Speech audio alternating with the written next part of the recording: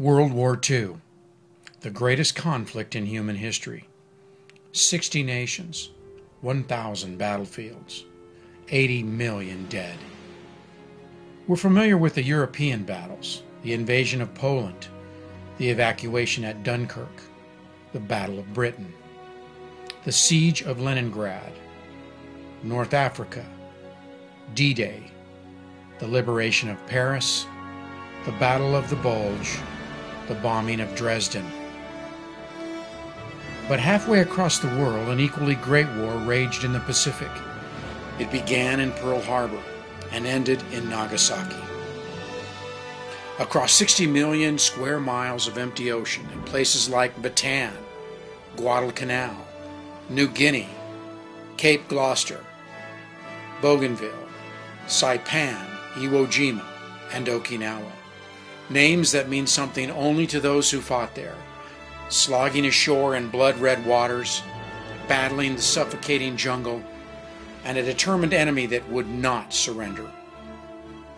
Losing friends and comrades in places with unpronounceable names Tarawa, Kwajalein, Eniwetok, Peleliu.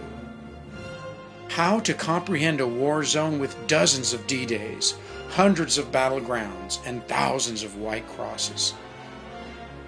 In the frigid air above the sweltering seas, endless hours over endless oceans, no radar or homing beacon, only the sun and stars as guides, to distant specks of sand that await with teeth rattling anti aircraft fire. Engaging the formidable Zero, the terror of white hot phosphorus raining down from above. Bombing runs into walls of flak that blacken the sky, and trying to fathom the horrific kamikaze. A bird's eye view from the legendary B 24 Liberator.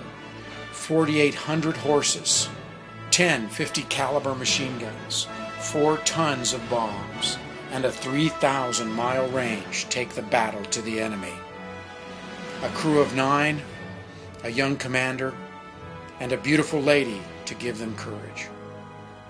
From a tiny island, they engage in 16 heart pounding missions Corregidor, Luzon, Mindanao, Arakabesan, Truk, Marcus, China, and Japan itself, where they witness the terrible beauty of Hiroshima. A young man who dreams of flying, the airplanes, the solos, the reward.